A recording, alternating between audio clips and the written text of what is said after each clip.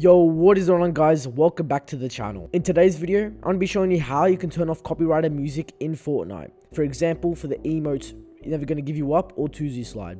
Remember, if this helped, please drop a like and subscribe if you're new. And remember, follow all my socials linked down below. And if you'd like to put me in the Fortnite item shop, that will be code Kalios. Right up here on screen, obviously. Code Kalios.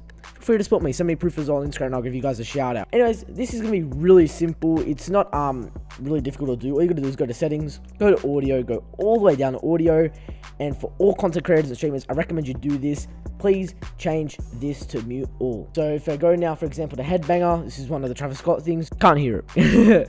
uh, I don't know why they do it though, that's actually not copyright, but if you're Never Gonna Give You Up, can't hear it. so yeah, it's really easy. I recommend you do all the mute all uh, for ones. But since I'm here, I'll show you guys what I mean if I turn the audio like for just me, uh, when it says mute others. So if say if you're playing with fans, uh, when they use the emote, they can't hear it. But there you go. So you know what I mean? It's like that, really easy, guys. And um, you know, this really inspired me to do this because Twitch right now are going through a massive copyright uh, like strike thing. So all my Fortnite streamers out there, I want to help you guys out so you don't get copyrighted by this, you know, partnership with Fortnite and whatever singing, whatever, whatever artist it is. Anyway, like I said before, if this helped, please drop a like and subscribe and use my code in the Fortnite item shop. Anyways, peace, guys.